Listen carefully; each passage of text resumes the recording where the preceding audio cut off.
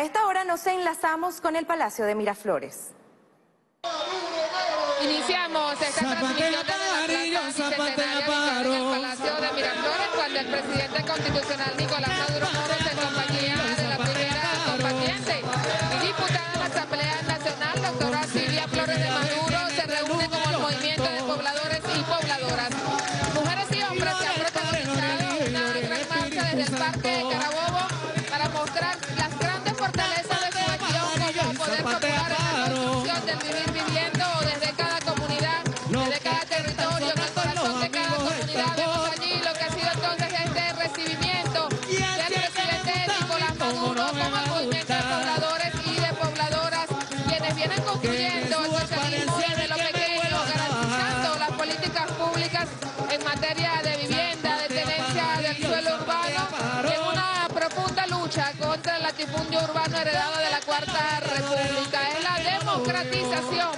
de la tierra que ha sido posible con la revolución urbana que emprendió el comandante eterno Hugo Chávez y que hoy se consolida con el poder popular activado y con su líder, conductor de victorias, el presidente Nicolás Maduro Moros.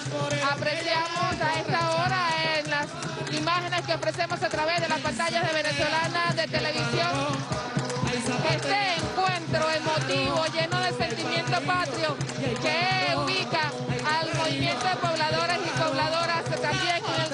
de las tres R's.net, resistencia, renacimiento y revolucionar todo. En esta época de transición al socialismo, en la construcción del nuevo mundo, con el protagonismo del pueblo venezolano, acá en la Plaza Bicentenaria se siente lo que es la humildad de un pueblo, de mujeres, de hombres que se han puesto en la primera línea de la batalla frente a un vil bloqueo y que siguen dando muestra de ese sentimiento patrio para trabajar, para llevar adelante construcción de viviendas, en la mejora del hábitat, en la mejora del urbanismo, así como también en la construcción de hogares dignos. Es la democratización del espacio público también, donde los movimientos de pobladores y pobladoras tienen un rol protagónico.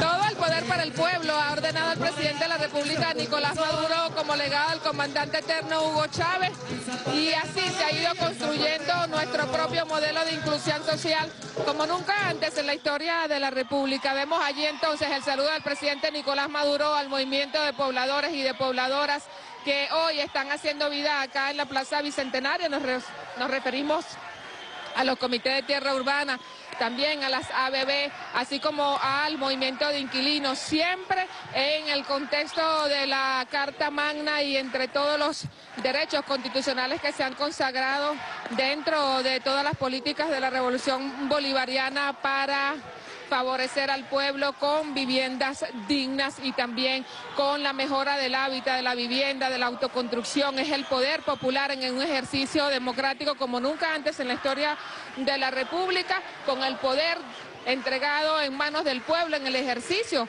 de esta democracia participativa, protagónica, un ejercicio de democracia directa en la gestión del suelo urbano, únicamente visto en la revolución bolivariana y que también es un ejemplo para el mundo a seguir en materia de garantía de los derechos fundamentales del hombre, de la mujer, de la familia, del niño que va creciendo dentro de la población y que desde ya pues entonces tiene garantizado su derecho a la vivienda en un modelo Que viva único. el pueblo de Escuchamos Venezuela. ¡Que viva la patria grande! ¡Que viva la unión del pueblo! Bueno, bienvenidos, bienvenidas, hombres y mujeres, niños, niñas y jóvenes, pobladores y pobladoras, en resistencia permanente en renacimiento y en revolución. 3R.net. Y lo que vamos es pa'lante. Y pa'lante es para allá. Bueno, mi saludo a la Federación Nacional de Motorizados, mira, está aquí, y motorizada.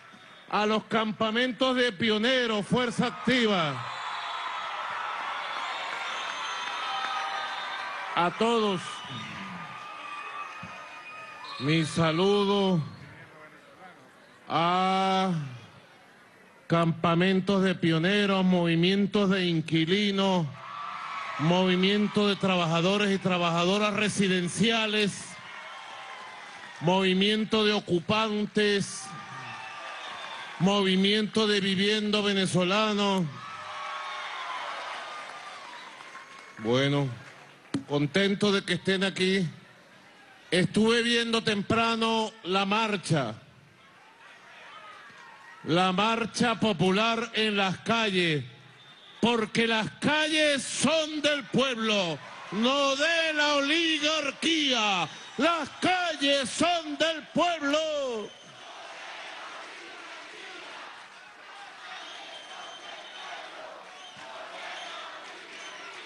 Y llovió, llovió y llovió.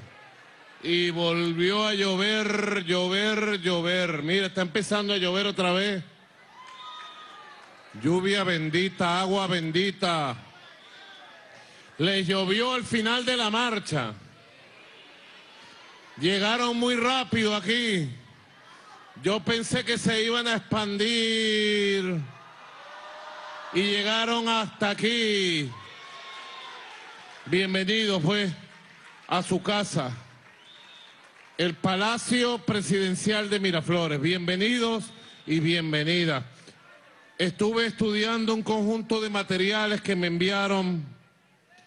Estuve leyendo un conjunto de alertas, denuncias, propuestas que ustedes vienen trabajando a lo largo de estos años. Vamos ya casi, casi pisando el tiempo de la pospandemia. No podemos declarar victoria. Ha habido un repunte del coronavirus en los últimos días, la última semana. La vicepresidenta me carga a monte con el tema del coronavirus. Una guerra psicológica diaria. Tiene razón, dándome datos. Hay que cuidarse. Mira, este se puso la máscara ahí mismo, dijo. Eso es conmigo, dijo. Yo me empecé a cuidar mucho más. Acabo de llegar de la gira euroasiática y africana. La gira necesaria. Por allá estuve sano, sano.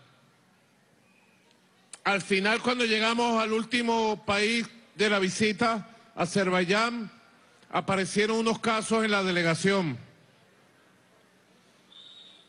Y bueno, decidimos el presidente y yo hacer el encuentro videoconferencia, era lo mejor. Afortunadamente llegué sano, estoy sano. Silita sana. Estoy invicto todavía del coronavirus, no me ha pegado. Ojalá. ¿Quién de ustedes ha tenido coronavirus? Como el 15%. ¿Quién se puso la vacuna? ¿Quién se puso el refuerzo? Bueno, entonces yo los llamo a que nos cuidemos más. Aunque ya la humanidad va entrando en la etapa de pospandemia, el coronavirus es una realidad. Hay que cuidarse, hay que vacunarse. Y en Venezuela lo decimos sin empache. En Venezuela nos seguimos cuidando, en Venezuela nos seguimos vacunando, hasta que aparezca en el mundo una pastillita, una medicina que cure el coronavirus. Entonces ahí yo sí diré con alegría, tenemos las pastillas, todo el mundo a quitarse la mascarilla. Ahí sí lo diré, tengo la pastilla en mi mano, a quitarse la mascarilla, hermano. Hay que cuidarse, pero vamos entrando en una nueva etapa que yo lo he caracterizado como una nueva etapa de transición al socialismo. 3R.net, resistir, resistir al imperialismo, a la persecución y a los embates del capitalismo. Resistir, victoriosamente resistir. Renacer el renacimiento de este poderoso movimiento fundado por Chávez, el movimiento de los pobladores y pobladoras, un renacimiento de este movimiento. Y revolucionar, hacerlo nuevo, cambiar todo lo que haya que ser cambiado.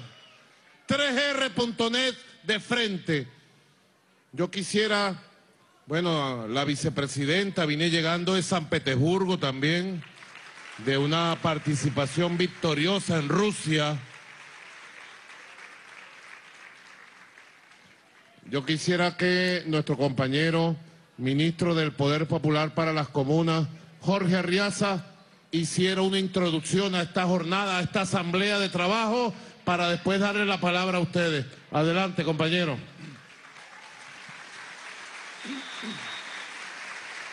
Muchas gracias. Presidente, qué orgullo y qué hermoso ver al presidente y líder de una revolución llegar de una gira internacional de la importancia geopolítica que tuvo y llegar a su patria y reunirse conectado con las raíces de su pueblo, con los movimientos de pobladores, pobladoras, inquilinos, ocupantes, trabajadoras y trabajadores residenciales. Presidente, esta asamblea de trabajo surgió del pueblo organizado, surgió de ellos y de ellas. Ellos plantearon una movilización al Palacio de Miraflores para reunirse con su presidente y esa movilización se hizo hoy de manera organizada, hermosa y aquí estamos. Aprovechemos esta oportunidad para trabajar el movimiento, los movimientos que están aquí presentes, las organizaciones que están aquí presentes, tienen varios frentes y varios vértices que plantear, presidente. Uno es el respeto a sus luchas, uno es la defensa de las luchas que ellos han llevado durante años y cómo el Estado en su conjunto y el presidente como jefe de Estado logra que todos y todas en el Estado estemos en función de la defensa de esas luchas y de cumplir lo que el comandante Chávez tanto nos planteó, presidente, que el pueblo sea el gran productor autogestionario de la vida en comunidad. La producción para la vida, no para el enriquecimiento, no para el lucro, sino para la vida. Los compañeros del movimiento llaman, le dan un hermoso nombre, comunalizar la vida, comunalizar la producción. El movimiento de pobladores y pobladoras tiene la característica, presidente, que ellos, desde el momento en que, por ejemplo, los campamentos de pioneros asumen un espacio, asumen un terreno, van creando comunidad. Se organizan en consejos comunales, hacen sus asambleas de ciudadanos, tienen sus vocerías y luego cuando construyen sus viviendas, ellos ya son comunidades de hace tiempo y la construyeron como consejos comunales y comunas.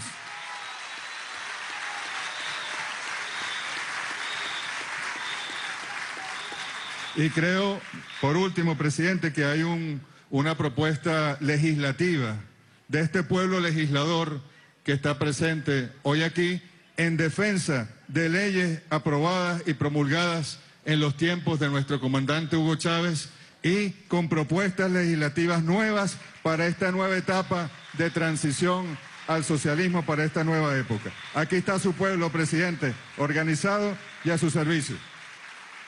Bueno, antes de darle la palabra para escuchar sus opiniones, propuestas, críticas, alertas, denuncias, aquí funciona en tiempo real el 1 por 10. Directo, el 1 por 10.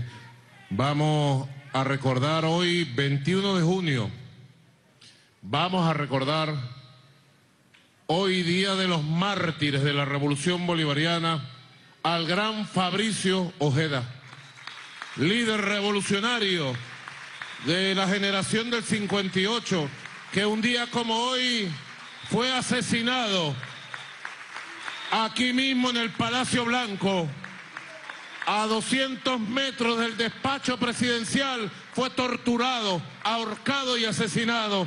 Fabricio Ojeda, honor y gloria a Fabricio Ojeda. Vamos a ver un video para recordar y homenajear la memoria y el espíritu inmortal de Fabricio Ojeda. Adelante, video.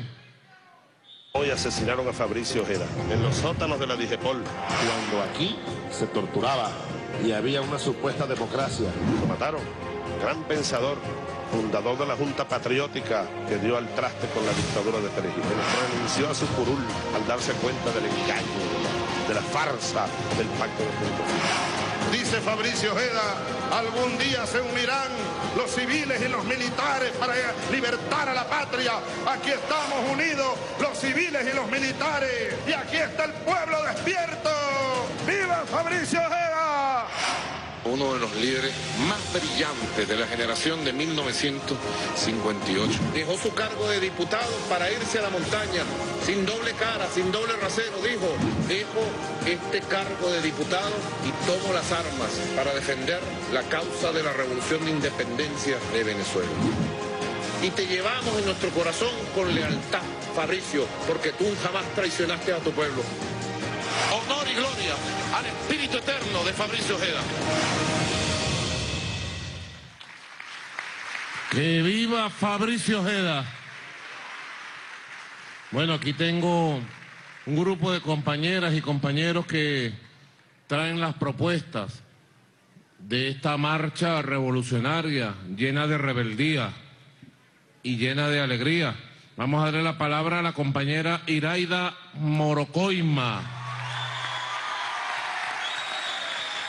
Vocera del movimiento de pobladoras y pobladores a nivel nacional del campamento de pioneras y pioneros para crear nuevas comunidades socialistas. Iraida, bienvenida. Gracias, presidente. Ahí, antes de que todo, emocionados y emocionadas estamos porque este encuentro lo buscamos nosotros. Era necesario encontrarnos con usted así como es necesario de la mejor forma plantearlo, que es necesario escuchar bien al pueblo, porque vienen tiempos para construir esa, ese hombre y esa mujer nueva. Hoy 21 de junio. Y bueno, ahí uno tiene un compromiso con, esta, con este pueblo porque nosotros somos representación del pueblo que está en la calle, del pueblo que se monta en camioneta, del pueblo que viene pasando, que tiene las consecuencias de la crisis, del bloqueo, pero que también tenemos las consecuencias eh, y ahora es más necesario, eh, fíjense, me van a disculpar todos y todas, pero nosotros no podemos perder la oportunidad de tenerlo acá. Nosotros lo hemos visto infinidades de oportunidades. Fuimos los del 9, los que nos fuimos para Miraflores cuando se perdió la asamblea. Eso somos nosotros. Fuimos a decirle a usted que estábamos resteados con usted. Somos lo que cada vez que vemos algo que no nos parece, alertamos. Y hoy en día venimos a alertar porque es necesario que nosotros, el pueblo, hagamos el autogobierno comunal y que el Estado coloque los medios. Y no venimos como hay mucha gente que tiende a criminalizar cada vez que el pueblo se quiere reunir con el presidente. No, es que van a cambiar ministros, no. Nosotros no le venimos a decir que cambie ministro, le venimos a decir que ponga a todos los ministros al servicio del movimiento popular porque queremos construir la patria nueva.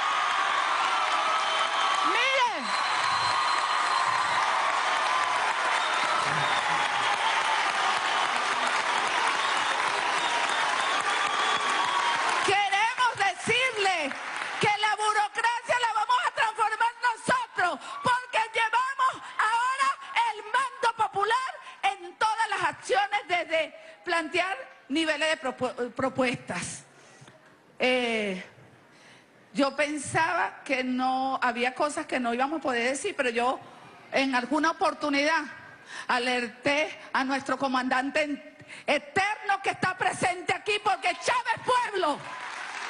El pueblo que está hoy aquí es el Chávez que usted quería ver.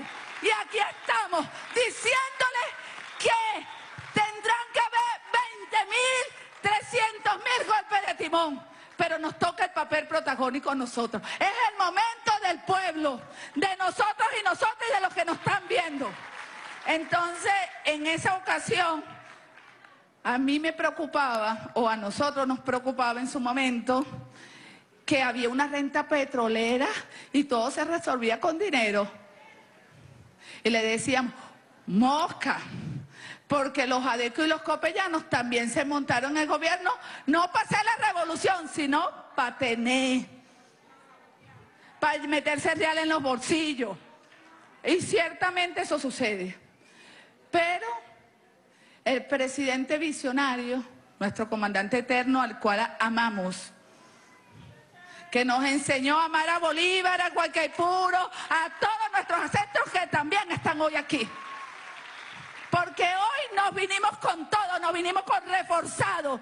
Porque es que estamos contentos por lo que pasó en Colombia. Porque se comienza a construir la historia y se comienza a hablar de la patria grande. De la patria que nos habló Bolívar y que Chávez nos encomendó. Entonces, fíjense, yo para hacer, yo le decía allí que cuidado si los adecos y los copellanos nos volvían. Yo sé que los adecos y los copellanos no van a volver, pero no pueden volver las malas prácticas. Y no puede ser algo, nosotros decimos que si hay medio lo compartimos entre todos entre todos. Las políticas que estamos planteando nosotros, que ahorita van a hablar los compañeros, es para todos. A veces sentimos y no, y, yo le voy a decir, presidente, yo espero, con todo el respeto que usted nos diga, dame nombre porque no le vamos a dar nombre. Porque nosotros tenemos conciencia de que ustedes saben que el pueblo se lo pasar cada vez que le da la gana. Por eso es que decimos que aquí se va a comenzar a tocar joropo y van a bailar con nosotros, pero vamos a hacer la revolución, porque aquí queremos prepararnos como sea para la defensa.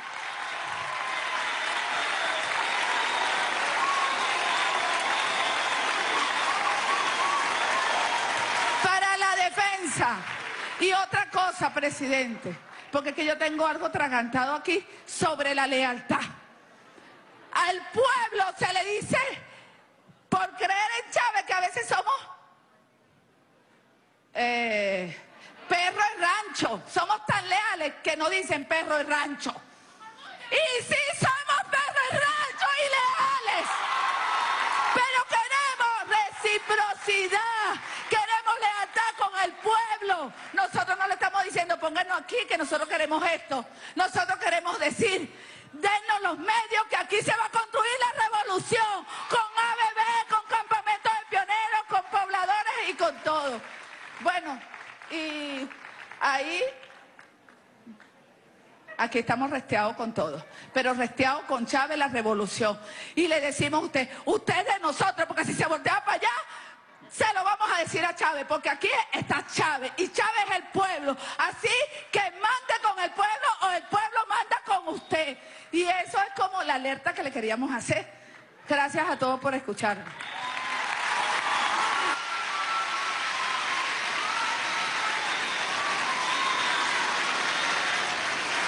Bueno, Iraida, vamos a escuchar a otra mujer, Anélida Cordero, vocera de las trabajadoras y trabajadores residenciales de Venezuela. Nélida, bienvenida. Gracias, presidente Maduro. Gracias, compañeras y compañeros. ¡Viva Che! ¡Viva Maduro! ¡Viva la Venezuela libre y poderosa que nosotros queremos crear! Presidente, bienvenido a su patria Venezuela. Me siento orgullosa de todo ese periplo junto con todos mis hermanos y hermanos venezolanos que usted en estos días estuvo en esos países que sabemos que son hermanos, que igual nosotros los queremos, aunque no hablemos su lenguaje, pero nos queremos mutuamente, ellos a nosotros y nosotros a ellos. Le digo otra cosa, lo amamos, presidente Maduro, así como amamos a Chávez, lo amamos a usted también.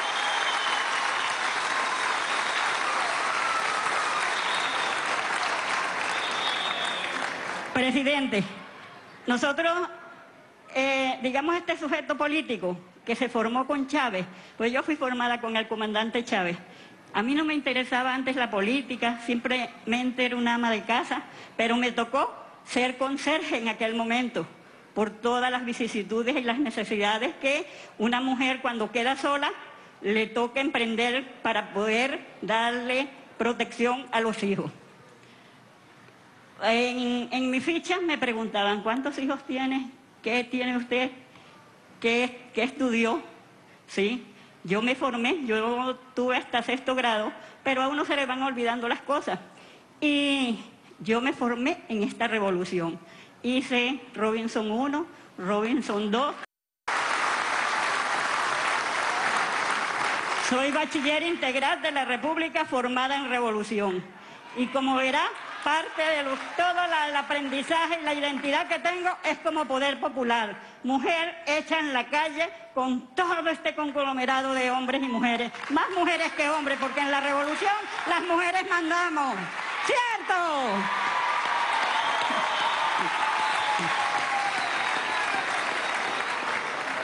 Presidente, mire, eh, en ese periplo como conserje en aquel momento, nosotras nos organizamos. El comandante Chávez nos decía, organícense por una vivienda digna. Pero nosotros en ese momento comenzamos, fueron muchos años de discusión, un proceso muy largo en los espacios de la Universidad Bolivariana, que eso nos permitió a nosotros, a nosotras y nosotros identificar las necesidades, la violación de derechos humanos, todo lo que le puede pasar a un ser humano totalmente eh, inidentificable, diría yo, porque a nosotras no nos identificaban con nada, nosotros siempre nos ponían a un lado, nosotros no teníamos identidad. No, esa es una trabajadora, más nada, de ahí no pasaba. La conserje, incluso hasta el nombre nos quitamos porque significa esclavo. Y nos dignificamos trabajadoras residenciales, nos quitamos ese nombre.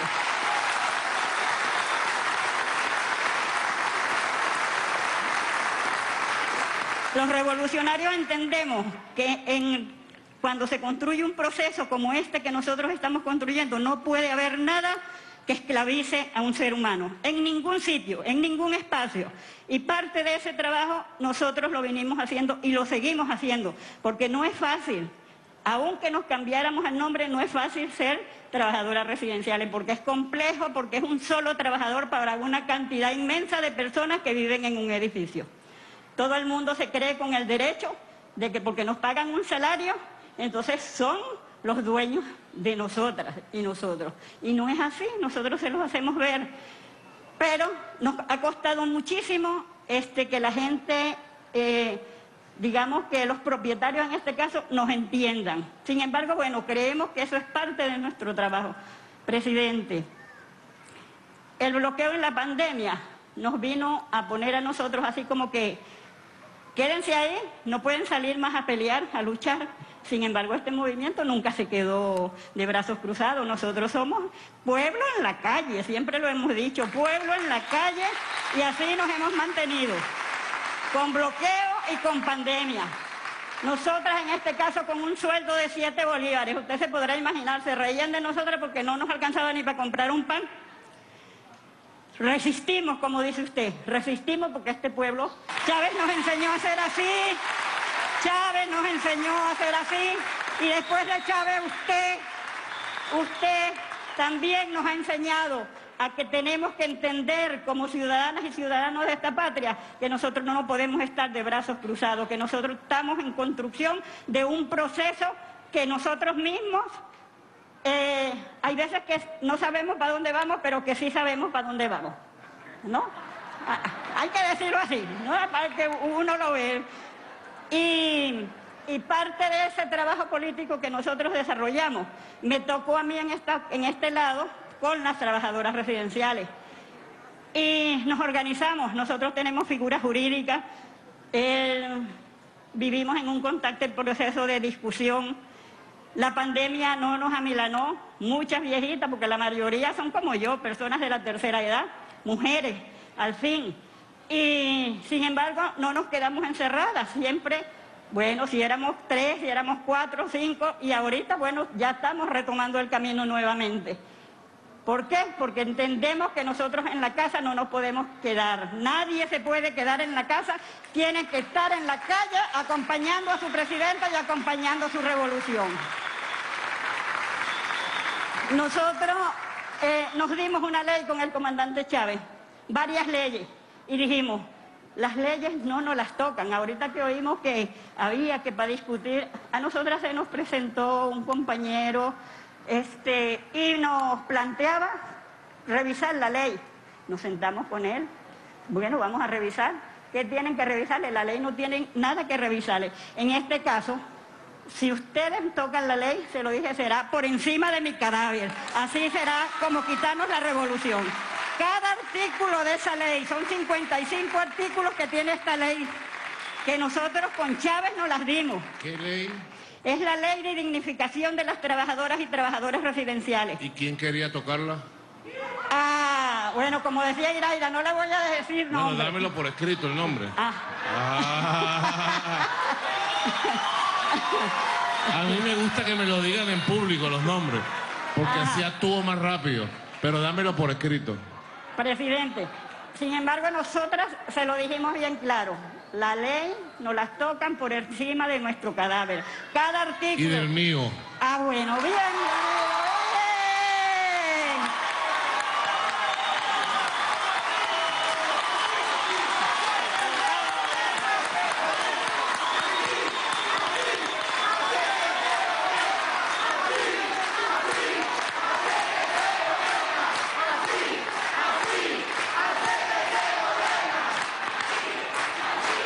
Presidente, allá la camarada Siria, yo recuerdo en este momento como que si estuviera el comandante Chávez, me recuerda, y discúlpeme que, la tutee, pero el comandante Chávez recuerda en el Calvario aquel 8 de enero que le decía, Silia, ayúdalas.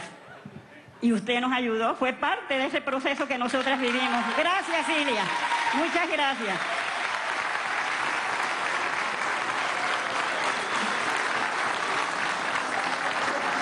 Esta ley, estos 55 artículos de esta ley, cada una de nosotros nos dimos un proceso de más de ocho años de discusión, que no sabíamos que era una ley lo que estábamos construyendo, sino un proceso de discusión para ver sobre todo la violación de derechos humanos. Y creo que en eso nosotras este, descubrimos todo el maltrato al que nos sometían los patronos siendo conserjes en aquel momento, trabajadores de una comunidad.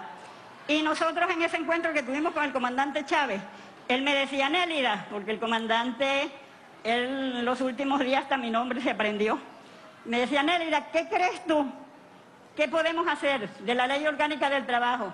¿Cambiamos algunos artículos? Y le dije, no, comandante, nin- ningún cambiar alguno. Elimínelos todos porque por ellos es que nos tienen a nosotras sometidos haciendo lo que hacemos.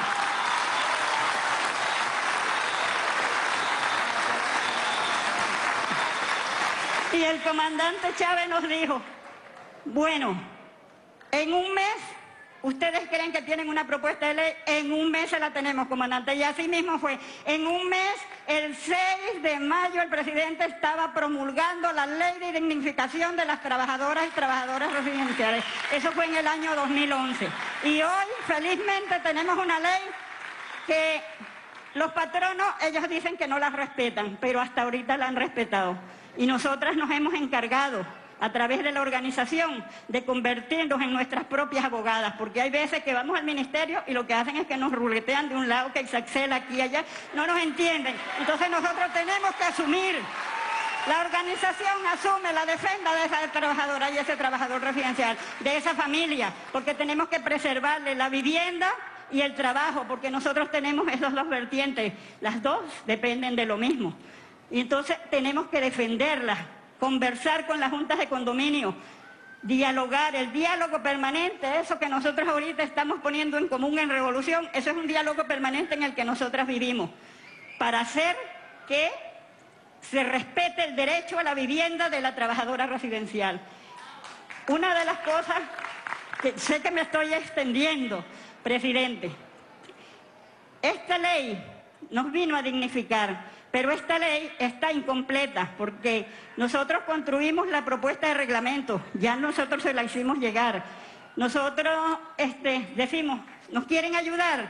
Chévere, apruébennos el reglamento y el Consejo de Protección Integral para que esta ley pueda funcionar como tiene que ser. Es así como se trabaja. Fueron 11 años que nos costó mucho llegar aquí, pero hoy felizmente estamos con usted y sentimos el apoyo y el respaldo y sabemos que usted y nosotros y este pueblo organizado no vamos a permitir que no se saque más nunca una trabajadora residencial de la vivienda donde está. Sabemos que la vaina está apretada, pero sin embargo, nosotras nos organizamos como pioneras nosotros formamos parte de los campamentos, nos cuesta mucho, porque trabajamos y tenemos también que estar en los campamentos, aportar el trabajo. Y sin embargo, en la ley está claro, aquí lo dice, una de las cosas que nosotros pedimos que a las trabajadoras residenciales, porque hay unas muy viejitas de 80, 83 años que están en los edificios todavía, y nosotros decimos, presidente, la dignificación de esas trabajadoras residenciales con su vivienda. Creo que es el sueño de todos y de todas, para ellas.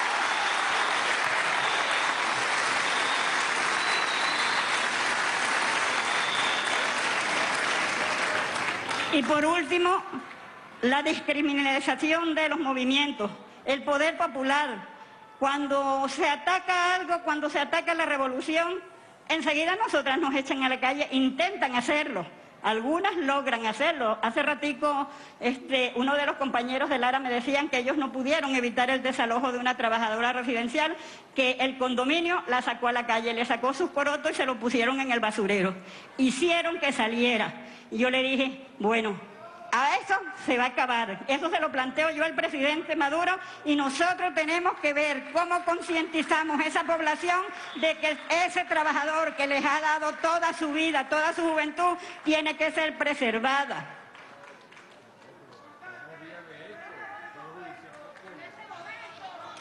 Tiene que ser preservada. La integridad de esa familia tiene que ser preservada. Su trabajo tiene que ser preservado. Para eso estamos en revolución. Nosotros no nos estamos imponiendo, porque nosotros decimos, esa vivienda no es nuestra. Siempre lo hemos dicho, no la queremos, es muy pequeña, nos ponen muchas condiciones, no podemos tener la familia con nosotros, los hijos, los nietos. Siempre es una dificultad que se presenta. Sin embargo, nosotros decimos, no queremos esa vivienda. Para nosotros como vivienda principal no la queremos. Pero sí le pido, presidente, de lo más profundo de mi corazón, el apoyo a esas personas de la tercera edad, a esas hermanas, sobre todo, muy revolucionarias, muchas en la revolución y lo pueden decir los muchachos diputados que cada rato le salen en las marchas. Bueno, presidente, lo quiero mucho, igual que lo quiere toda Venezuela. ¡Te amamos, Maduro! Gracias, Nélida. Bueno, está, yo estoy tomando nota de cada punto. Y tenemos que tener, así como tenemos un 1 por 10 para los asuntos que ustedes saben, tenemos que tener una vía de comunicación directo para cuando haya algún tipo de violación de la ley, de abuso, de intento de desalojo, se actúe de manera inmediata, vía de hecho. Le estoy diciendo al ministro Jorge Arriaza que se encargue directamente de tener esa vía directa para actuar protegiendo al pueblo. Y lo que plantea Nélida, yo tomé nota, bueno, encargo a la vicepresidenta ejecutiva de la revisión y que me presente de inmediato el reglamento de la ley de trabajadoras residenciales, porque estoy de acuerdo con Nélida. Son reglamentos que se van eternizando, no se redactan, no se aprueban para publicarlo en Gaceta Oficial y que sea parte de la ley de protección a las trabajadoras residenciales. E igualmente encargo al ministro Villarruel de inmediato junto a Jorge Arriaza del tema de las viviendas para las trabajadoras residenciales que así lo necesitan. Hay que hacerlo de inmediato. Sobre todo para aquellas de la tercera edad que dice Nélida, que quizás sean quien más la necesita. Arrancando por ahí, podemos. Lo importante es que podemos dar esa respuesta Estamos en condiciones de dar esa respuesta y tenemos que darla. Y yo quiero estar informado en tiempo real. Bueno, yo vine fue a escucharlos a ustedes, a tomar nota y a partir de allí a incorporarme al conjunto de decisiones. Yo vengo del movimiento popular, saben ustedes, del movimiento obrero, del movimiento sindical, al principio del movimiento estudiantil revolucionario de los años 70. Un gran aprendizaje. El aprendizaje de la democracia directa, Nélida, cuando tenía 12 años, 13, 14 años. Las asambleas estudiantiles, los delegados de curso. Y teníamos un debate, una batalla entre los que creíamos en las asambleas estudiantiles de delegados de curso y los que creían en centros estudiantiles. Al final no había contradicción, podíamos avanzar. Fue una escuela de ejercicio del poder en resistencia, en lucha contra la Cuarta República, contra la represión, las persecuciones. Y luego estuve muy cerca, muy, muy cerca de los movimientos de barrio en el valle, todo el valle, todo el valle, desde Radio Caracas, las Malvinas, las Malvinas era ranchito de palo, porque los desalojaban todo el tiempo. Todo lo que es San Andrés, La Matanza, Zamora, Las Ceibas, Cerro Grande, la calle 1, 2, 3, 4, 5, 6, 7, 8, 9, 10, 11, 12, 13, 14, el cementerio, los sin techos primero de mayo, el movimiento popular, el impulso de los procesos educativos al pueblo. Jamás nos imaginábamos que una revolución se iba a hacer en Venezuela y su base iba a ser la revolución educativa, las misiones educativas, la misión Robinson, la misión Rivas. Tú eres hija de las misiones educativas, Nélida. La misión Sucre. Bueno, tuvimos actividad con los cineclub. Yo me acuerdo, en estos días lo recordaba porque estaban pasando la película de John Travolta. ¿Cómo se llama? Se me cayó la cédula, pero se estrelló contra el piso, pues. No quedó ni polvo de mi cédula. Fiebre del sábado por la noche. ¿Quién ha visto esa película aquí? El baile, el bailecito se hizo famoso todavía. ¿Ustedes saben qué, hacíamos nosotros? los cineclub populares, teníamos un retroproyector de 8 milímetros y convocábamos el barrio completo. Yo me acuerdo, por ejemplo, en el Loro, me acuerdo ahorita en el Loro, la bajada del Loro, y allí convocábamos y llegaron 300 personas para ver la película. Y antes de pasar la película dábamos un pequeño, una charla 15 minutos, esta película que la vean con sentido crítico, tal, pi, esto promueve el consumismo, el capitalismo, la alienación. Ahí eso se llenaba de muchachitos, muchachitas, de todas las edades, y veían su película. Y disfrutaban su película. Y después de la película venía el foro. De 300 personas quedaban 30 pero eran 30 en donde sembrábamos conciencia en el cineforo yo me consigo a veces, Nélida, por ahí, gente en las marchas, gente de mi edad. Yo soy un chamo de 59 años. 59 años. ¿Ah? Yo me consigo en las marchas o llegan aquí a los actos gente y me dice, yo estuve en un foro contigo en el barrio tal una vez. Ya son gente así, con, con algunas canas como yo, pues. Venimos del movimiento popular y luego de la lucha obrera, de la lucha sindical y luego Chávez. nuestro Padre, nuestro Maestro, nuestro Guía Eterno. Y yo estoy de acuerdo con ustedes. Aquí está presente el espíritu inmortal de Hugo Rafael Chávez Fría. Donde está el pueblo está Chávez. Estoy de acuerdo con ustedes. Por eso estoy de acuerdo cuando Iraida nos recordó, mi querida Iraida, camarada, aquellos días duros del 2015, donde la derecha, producto de la manipulación de las colas, ping, pum, pa, empezaba la guerra durísima. No sabíamos lo que íbamos a pasar. Y mira que lo pasamos y aquí estamos de pie y victoriosos, triunfantes, avanzando para allá. Pero los primeros, esas elecciones fueron domingo, tú que te lo sabes todo, 6 de diciembre, tremendo cipotazo.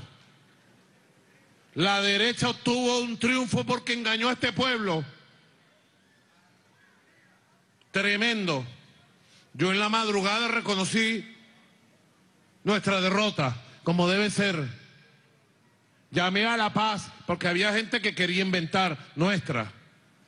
Llamé a acatar el resultado y a la paz.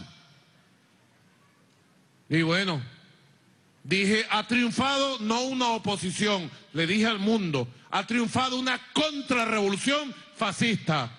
Y vienen con todo. No me peleé. Porque al pueblo hay que decirle siempre la verdad. No importa lo, duro y difícil de lo que digamos. Hay que decirle la verdad. Me fui para mi casa con Silita. Reflexionamos. Llegó el lunes. Me vine para Miraflores. Y llegó el martes. Era martes, Iraida. Era martes 8. Era miércoles. Yo lo que sé es que yo venía por aquí y me dijeron, hay como tres mil personas frente a Miraflores. Me dijo Arriaza, que están allí en manifestación. Y yo le dije, no, vamos a entrar. Me dijeron, no, vamos a entrar por el túnel tal, para que usted pueda entrar a Miraflores. Y yo le dije, no, ¿por qué por el túnel? No, bueno, porque está trancado por la manifestación. Yo voy para allá. Yo voy para allá para ver quiénes son. Y así fue me bajé, nos empezamos a abrazar, no había pandemia. Era chévere porque uno se abraza, ¿verdad? Uno se abraza, se besa, se amapucha allí.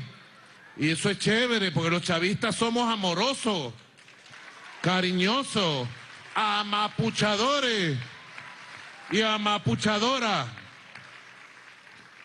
Y bueno, allí comenzamos a hablar, los videos, recuerdo, bonitos todavía. Yo veo esos videos y me emociono. Y les dije, pasen para acá. Entramos a Miraflores y empezó un diálogo. El diálogo de la resistencia. Y de ese diálogo surgieron las bases para la batalla que dimos en el 2016, 17, 18, 19, 20, 21 y para ahora 22. Es la verdad el movimiento popular. Bueno, vamos a darle la palabra a un hombre, ya han hablado dos mujeres. Tampoco la cosa puede ser así. Vamos a darle la palabra al compañero Juan Carlos Rodríguez, arquitecto, profesor, militante del movimiento de pobladores. Juan Carlos, adelante, bienvenido. Bueno, presidente, mire, no solamente es la ley de las trabajadoras residenciales, el movimiento de pobladores tiene una trayectoria de pueblo legislador muy amplia.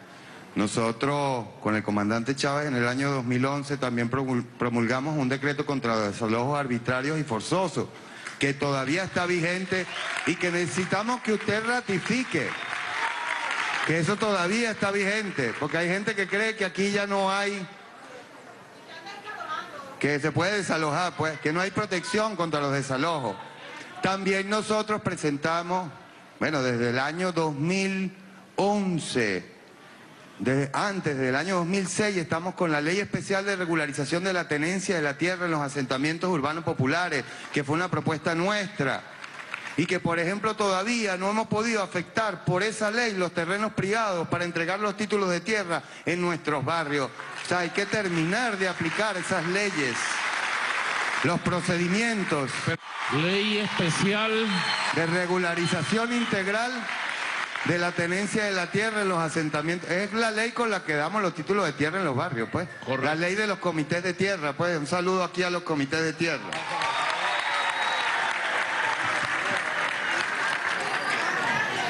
Ahora, también está iniciativa nuestra, legislativa popular, que la metimos con firmas y todo, la ley de regulación de los de arrendamientos, de inquilinato, ¿no? Que por ahí anda la burguesía fastidiosa, fastidiando más bien la oligarquía. No, vamos a cambiarla, ajustarla. Nosotros aquí le decimos otra vez, por encima del cadáver nuestro van a reformar nuestras leyes, por encima de nuestro cadáver. Les vamos a dar la pelea. No les tenemos miedo, con dignidad, con amor, porque nosotros nuestra pelea es la pelea del amor, la pelea de la vida, la pelea de la comunidad, no es la pelea de la muerte, que es la de ellos. Ellos son la cultura de la muerte, la civilización de la muerte. Nosotros somos la alternativa de la humanidad, la cultura de la vida. Ah, también está la ley de emergencia para terreno de vivienda. Nosotros no, nosotros somos algo así como los creadores populares de esa ley, pues, con la que se recuperan los terrenos para la gran misión Vivienda Venezuela. Ah, pero hay, hay miles de terrenos, presidente, miles de terrenos que se han recuperado con esa ley, que son terrenos que todavía no han sido transferidos a las organizaciones, a las asambleas de vivienda venezolanas. Ahora, ¿por qué? Porque hay un procedimiento legal, o sea, eso tiene que ir a tribunales, tiene que haber una sentencia. Y entonces hay que, bueno, otra vez usted como jefe de Estado, llamar a un consejo de Estado, no sé, y decir, mira, necesitamos que se destranque este asunto.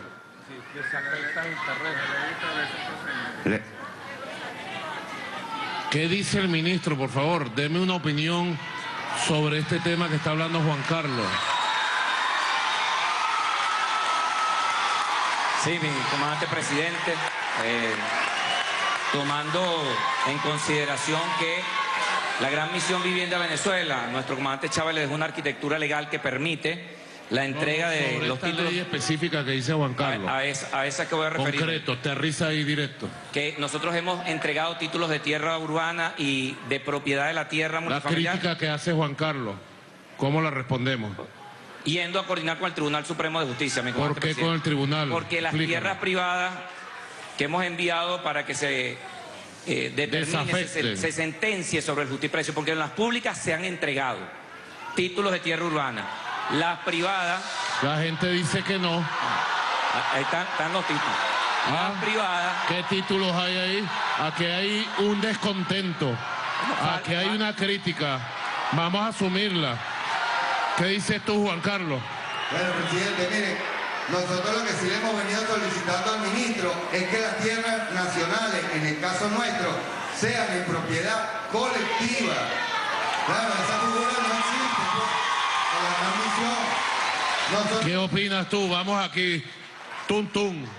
Respuesta, ministro. sobre la- los títulos de propiedad privada, mi comandante presidente, se ha hecho el trabajo y el Tribunal Supremo sentencia, y es lo que estamos coordinando en mesa de trabajo, para que se haga la sentencia del justiprecio y se pueda transferir las tierras privadas. Sobre la propiedad No, no, no, no, no. Él habla de las tierras públicas. Voy, voy para allá. Voy para allá. Estaba cerrando lo de las tierras privadas para No, que no quede- cierres nada. Aterriza en lo concreto porque estamos en un debate puntual. Aclárame ese punto. Hay una crítica. Está pasando algo. Sí. Ah, Bien, mi comandante presidente. La, en la ley autogestionaria que ya va, se vamos a escuchar. Vamos a escuchar. Vamos a escuchar. Así, así, así es que se escucha. Sí, me el presidente. La ley establece la entrega del título de propiedad multifamiliar, ¿Y que la es el que está establecido. Constitución? el- el mo- el- la Constitución habla de la propiedad y la ley que implementa la, la política de vivienda ha establecido la ley de propiedad multifamiliar. El movimiento de pobladores viene solicitando, inclusive en la ley de autogestionaria, hay una propuesta para considerar la propiedad colectiva que no está todavía formalizada. Si no está formalizada, no podemos llevar los registros al SAREN para ese tipo de propiedad. En cuanto se tenga, los títulos que entregaremos serán los títulos de propiedad Cuando se colectiva. tenga que... Eh, Ah, presidente, es que ahí nosotros, yo le vengo echando el cuento de toda la trayectoria legislativa nuestra, pero es que estamos proponiendo una nuevecita fresquita ahorita. ¿Cuál es? Se llama Ley de Producción Autogestionaria del Hábitat Popular. ¿Dónde está? Ajá. ¿Dónde La está la metimos- propuesta? La metimos el año pasado. Pero no, yo no la tengo. Ah, ya se Imprímeme una ley. Que está bien, ministro, gracias. Sorry, Miren, no. hay que tener, fíjense ustedes, hay que tener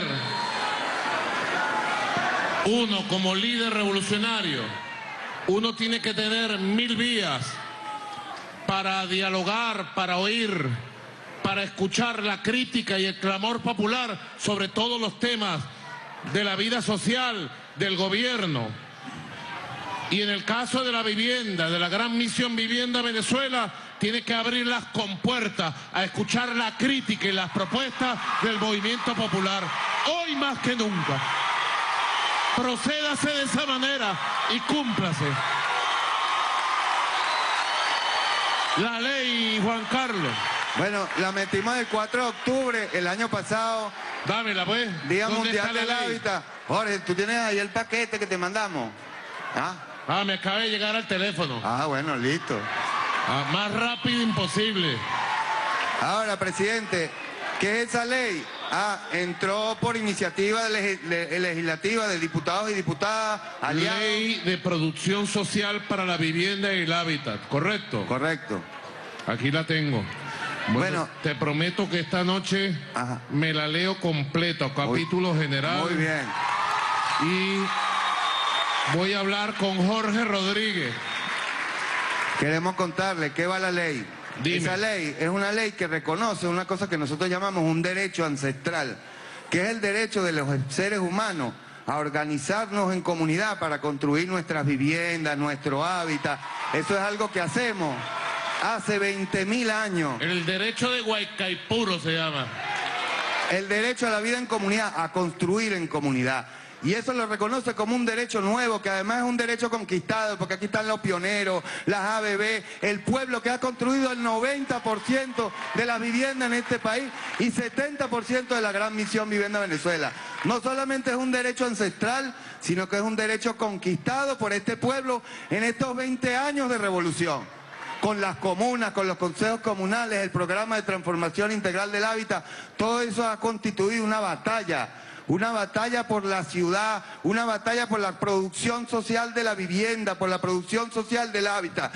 Y esa ley viene a reconocer ese derecho y esa lucha que hemos ganado en la calle con pelea y con trabajo. Ahora, esa ley como derecho requiere una serie de instrumentos, de mecanismos para que ese derecho pueda ser efectivo, porque no es solamente para pobladores de las ciudades, también es pobladores del campo, para los pueblos indígenas, para todas las formas de organización y de producción popular del hábitat y de la vamos a vivienda. entrarle un equipo, vicepresidenta, compañera Delcy, vamos a entrarle un equipo al estudio profundo de esta ley y vamos a coordinar Jorge Arriaza, Villarruel, el Procurador General de la República, vamos a coordinar con el presidente de la Asamblea Nacional, Ahora, presidente, el compañero Jorge Rodríguez, para ver la programación que ellos tienen en el debate de esta ley. Hay una propuesta que ya salió una- de una comisión mixta donde estuvo la Comisión de Desarrollo Social, estuvo la Comisión Ya la de revisaron. Ya la revisaron. Ya hay una propuesta ¿Y lista qué dicen para ellos? primera discusión. Bueno, hay un par de temas que son los temas que tenemos que plantearle a usted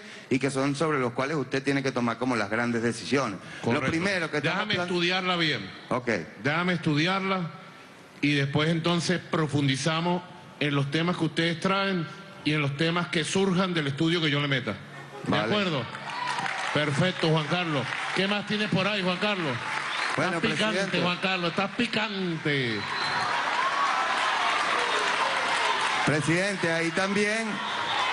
Bueno, nosotros no queremos parar todas estas experiencias que tenemos de autogestión, de producción de vivienda. Ahora, nosotros entendemos en el contexto en el que estamos ahora, el contexto este, de bloqueo, vienen puertas una gran, un gran colapso financiero internacional. Usted lo debe saber, debe haber hecho los análisis con, con los aliados de Venezuela en el mundo, lo que se viene para finales de verano y principios de, de otoño, ¿no? Este, ya va a entrar en colapso financiero Estados Unidos, eso va, va a generar toda una serie de consecuencias. Ahora, ¿qué decimos nosotros? Nosotros podemos seguir avanzando. ¿Cómo? A través de transferencia de medios de producción. Y para nosotros medios de producción, ¿qué son?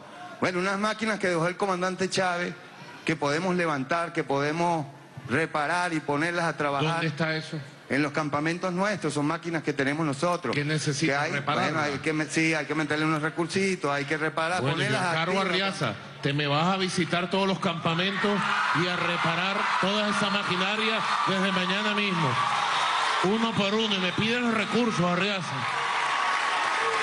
Materiales, al- el ministro Villarruel, a través de la gran misión, ha venido dando los materiales que dispone, pero, digamos, haría falta, por ejemplo, acero, concreto, cosas que nosotros con los medios de producción, con los materiales y con nuestro trabajo, bueno, avanzamos, pues, avanzamos. Y estamos planteando también un proyecto de una fábrica de insumos para la construcción, de elementos constructivos, para hacer techos para las, para las comunas, para los consejos comunales, para hacer elementos estructurales para ¿Qué los campamentos de de eso, pioneros. Riaza? Tú me hablaste de ese tema. ¿Cómo pudiera viabilizarse la concreción de esa propuesta? Presidente, en lo que hemos trabajado con el ministro de Industria, de la industrialización del poder popular, de los Con barrios. Hipólito Abreu, buen Con compañero. Con Hipólito Abreu hemos hablado de las capacidades que tiene el Estado, la fábrica de fábricas, las fábricas madres y cómo ponerle al servicio del movimiento de pobladores y del pueblo constructor correcto. de vivienda. Correcto, pero han hablado. Pero yo quiero la propuesta concreta. ¿Cómo vamos a hacer para cumplir lo que está proponiendo Juan Carlos? Que el movimiento popular tenga la capacidad productiva, tenga la capacidad industrial. ¿Qué podemos hacer? ¿Qué otro paso hay que dar para tener la propuesta concreta? La propuesta concreta, el proyecto de industrialización que llamamos Prometeo, fábrica de fábrica, que es un productor de tecnología para centros de producción comunales a nivel nacional, para producir elementos constructivos, la tenemos, ya la tiene el equipo del, pues. ministro. Ya se la mando Por también. teléfono, me la manda, Ya se ¿tú la mando también por el teléfono. Pero me tiene que dar... Que Ahora, yo quiero que esa propuesta es muy importante. Muy importante. Yo estuve, como saben ustedes ahora, en esta gira necesaria, post pandemia, en seis países. Y quedé impresionado de los avances que hay en el mundo a nivel científico y tecnológico. Y no nos podemos quedar atrás. Todos los países ofrecieron apoyo. Todos ofrecieron apoyo científico, tecnológico, para la producción, para la industria, para la salud. Creo que es un tema vital, fundamental, de la nueva época de transición que está la humanidad. En Venezuela le llamamos la nueva época de transición al socialismo, nuestro socialismo, el socialismo indoamericano, el socialismo afroamericano, el socialismo cristiano, bolivariano y chavista, nuestro socialismo, pues, surgido de la raíz. Entonces yo les pido de manera muy especial que este Prometeo, el Prometeo, el proyecto, yo pido, señora vicepresidenta, que usted cite a Hipólito Abreu, que cite a la nueva vicepresidenta de Ciencia y Tecnología, Gabriela Jiménez, al ministro, compañero Jorge Arriaza, y al movimiento de pobladores a una reunión especial y única para ver el proyecto Prometeo y tener respuestas para arrancar de inmediato en las inversiones y en los pasos que haya que dar en el proyecto Prometeo. Que no se quede en un documento, Juan Carlos. No, presidente, nosotros hemos hecho más de 1.500 viviendas en estos 11 años de la Gran Misión Vivienda Venezuela. Usted ha ido a muchos proyectos nuestros, fue a Matina. Correcto. O sea, nosotros no ha sido Prometeo. Nosotros no somos charachas, nosotros le damos con todo. No, no, me malentendiste. Yo no te No, estoy no, diciendo que ustedes sean characha. Esa palabra es la primera vez que la escucho. Yo lo que estoy diciendo es que el proyecto Prometeo no se quede en una buena propuesta y en un buen comentario, sino que se convierta en un proyecto No, ya tiene- industrial, Tiene concreto. todo, tiene todo el soporte tecnológico. Es una gente que, que trabaja con nosotros, que tiene muchos años desarrollando esta tecnología. Es una tecnología nacional con premios internacionales, pero además no requiere insumos importados ni nada. O sea, que es algo...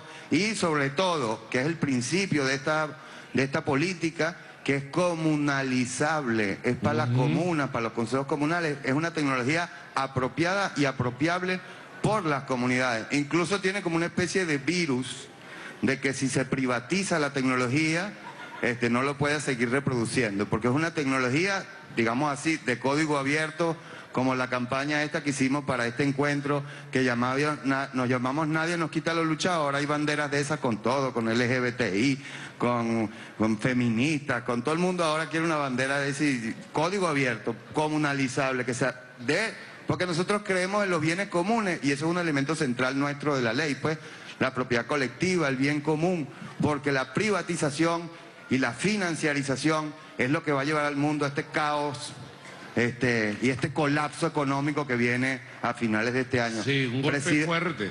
Y es importante que Juan Carlos lo haya traído. Es un golpe fuerte. Nosotros, ustedes saben que venimos de enfrentar circunstancias y situaciones con mucha voluntad, con mucha capacidad moral de resistencia, con inteligencia, con estrategia, con esfuerzo propio. Vamos saliendo adelante con esfuerzo propio. Y lo más bonito de todo, con trabajo propio, con unión, motivación de nuestro pueblo.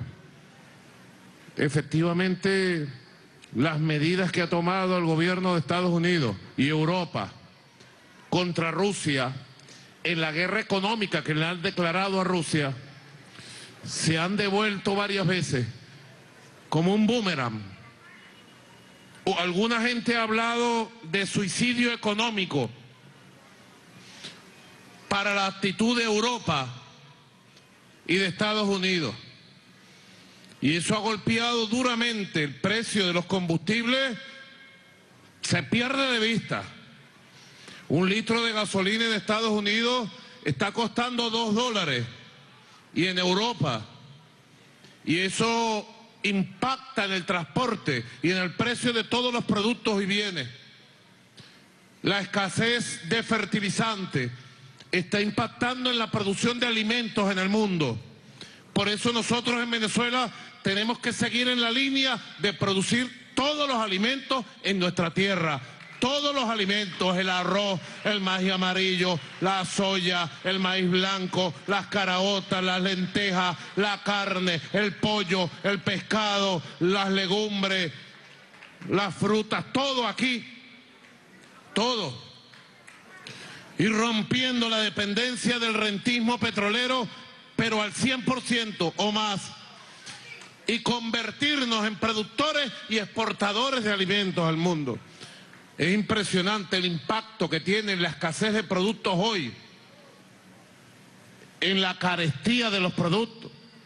Entonces, carestía tremenda en combustible, gasolina, gasoil, carestía en el transporte, carestía en todos los alimentos, carestía y escasez de fertilizantes. Y si no hay fertilizantes, merma la producción de alimentos. Y todo eso está conformando la tormenta perfecta y las élites de Europa y Estados Unidos están sordas, ciegas, no quieren ver la realidad. Y ustedes saben por qué están ciegas y sordas, por la arrogancia, la prepotencia y el deseo de venganza contra Rusia. Nosotros levantamos la voz de Venezuela. Y esto fui a decirlo al mundo entero, y lo digo aquí en Caracas nuevamente. Debe cesar las sanciones contra Rusia y debe normalizarse la situación económica del mundo que nos afecta a todos los pueblos del sur. Y mientras tanto, mientras tanto nosotros con nuestras tres R, resistencia, firme, férrea, absoluta, frente a cualquier circunstancia que nos toque, resistencia máxima. En segundo lugar, renacimiento de los sueños, de los proyectos, de las leyes, de las ideas. Renacimiento del bolivarianismo, renacimiento del socialismo. Y en tercer lugar, revolucionar todo lo que tenga que ser revolucionario. Cambiar todo lo que tenga que ser cambiado a partir de la crítica, de la autocrítica, de la propuesta. 3R.net es nuestro camino. Venezuela tiene su camino, tiene su proyecto tiene su idea, tiene su legado, tiene el pueblo, tiene la gente. Juan Carlos, dígalo. Sí, presidente. Nosotros en ese sentido queremos plantearle que retome dos leyes que para nosotros son bien importantes porque son de avanzada, que es la ley orgánica por el derecho a la ciudad, que ya pasó a consulta pública y está para entrar en una segunda discusión. A nosotros nos parece una ley fundamental que se ha venido proponiendo y la ley... ¿Por qué te parece fundamental? Porque son leyes complementarias. Por ejemplo, en la ley sobre el derecho a la ciudad, la ley orgánica sobre el derecho a la ciudad, está el derecho a la producción social del hábitat, está el derecho a la vida en comunidad. O sea, hay una serie de cosas que son importantes, que son complementarias a estas visiones sobre la ciudad que tenemos. El compañero Jorge Rodríguez me ha hablado mucho de esa ley. Así es. Y, está la muy entusiasmado. Y está la otra ley que fue la iniciativa suya, presidente, que es la ley de las ciudades comunales, que más que de ciudades comunales podríamos hablar de comunalización de la ciudad, una ley para comunalizar la ciudad, ¿no? Porque de repente hay gente que con ese nombre de ciudades comunales se pone así como medio encrispada, ¿no? Y le hace ruido la cosa. Bueno, pongámosle otro nombre, pongámosle más contenido. ¿Para qué? Para construir la ciudad comunal, con a través de un proceso de comunalización de la ciudad. Porque lo que nosotros hacemos todos los días Construir comunidad apunta hacia la comunalización de la ciudad, donde no es la ciudad de lo público ni lo privado, es de lo comunal, el régimen de lo comunal. Entonces vamos a darle, nosotros lo ayudamos, nos metemos con usted a promover esas leyes. Correcto. Y ahí, presidente, ya con esto cierro porque yo me, me, me, acaparé todo. Bueno, lo último es que hay muchos compañeros, muchas compañeras, familias que están en la calle en situación de riesgo de que los desalojen, eh, las mismas trabajadoras residenciales. Nosotros sabemos la situación actual. ¿Cuál es la propuesta que estamos haciendo? Un programa de vivienda transitoria. Hay muchos edificios que tiene el gobierno que están vacíos, que podemos usarlo como vivienda transitoria mientras las familias construimos las nuevas comunidades. ¿Ustedes tendrán un censo de cuántas viviendas transitorias necesitamos? Nosotros ahorita estamos hablando más o menos como unas 300 y para 350 familias en Caracas, ¿no? Pero claro... ¿Por, qué, ¿por qué para esa familia? ¿Qué pasa con esa familia? Bueno, porque miren, son los que están en riesgo de desalojo, familias que están viviendo en la calle, que están hacinados, que les están subiendo el alquiler. Es la situación... Bueno, eso hay que revisarlo. Yo encargo al vicepresidente social, Mervyn Maldonado, coordinar este tema de la protección de las familias que están siendo amenazadas o que están siendo abusadas con aumentos ilegales del canon de arrendamiento. Y me mantienes informado. Y bueno, vamos a disponer de esta propuesta y vamos a buscar las 350 viviendas para tenerlas como colchón de apoyo para las familias que las necesiten ya de manera emergente. Pero esos son, presidentes, esos son edificios que recuperamos y hacemos ahí uno, un, ¿sabe? Transitorio, pues. Eso es para hacerlo este, con materiales livianos, cosas. O sea, no es una operación complicada, una operación sencilla de agarrar un edificio viejo y medio acomodarlo para aguantar ahí mientras que se mejora la cosa y, la ley y tal. Y bueno, y tenemos un fondito y más o menos vamos cogiendo fuercita, pues. Bueno, un aplauso a Juan Carlos, ¿vale? Es el nuevo método. Bueno, compañeros, yo he tomado nota de todo. Yo creo de verdad muy importante avanzar en todo este marco legal. El tema de la vivienda es un tema que solo se puede resolver en socialismo en el socialismo y es fundamental construir comunidad, construir comuna. Es el tema principal. Porque la gran misión Vivienda Venezuela no puede ser cemento y cabilla. La gran misión Vivienda Venezuela tiene que ser el pueblo como sujeto participativo y protagónico de su vida comunitaria. Es el proyecto original de Chávez, el proyecto original. Y el socialismo bolivariano en medio de las peores circunstancias mantuvimos la gran misión Vivienda Venezuela. No dejamos que muriera y debemos seguir avanzando. Ahora, bueno, integrando la construcción de las ciudades comunales, profundizando el derecho a la ciudad, construyendo ciudades bellas, solidarias, funcionales, limpias, brillantes. Yo lo he contado en estos días, no sé si lo han escuchado. Pasamos por estos países y uno queda impresionado de ver esas ciudades gigantescas. Estambul, Ankara, Argel, Teherán, Kutuay, Doha, Bakú, ciudades gigantescas. Teherán tiene 16 millones de habitantes, una ciudad funcional, bella, bella, gigantesca. Bakú es una ciudad, bueno, que le da cuatro pasadas a París. París es una pequeña ciudad al lado de Bakú. El nuevo mundo va surgiendo. Y el nuevo mundo tiene que surgir y consolidarse en Venezuela desde las raíces del poder popular, desde las raíces de la gran misión Vivienda Venezuela, desde las raíces del derecho a la ciudad, desde la raíz profunda. El enemigo histórico de la revolución es la desigualdad. Debemos ir a la fuente que genera la distorsión social y activar los mecanismos de igualdad. Ha sido dura la etapa que pasamos, 19, 20, 21. El 22 sigue siendo un año de batalla, pero vamos despejando el camino. Vamos despejando. No es poca cosa, yo se lo explicaba a los presidentes, primeros ministros, emires, jeques que nos recibieron. Le decía, mira, de un año nosotros pasamos de ingreso petrolero de 56 mil millones de dólares a mil millones.